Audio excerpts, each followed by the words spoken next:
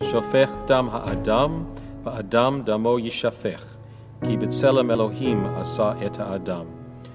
sheds the blood of man, by man shall his blood be shed, for in his image did God make man. Hebrew is a Semitic language, and so nouns and verbs and adjectives are interrelated in a way that they are not in English.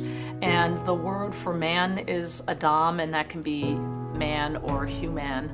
Blood is dam, which uh, comes from the same root, and earth is adama.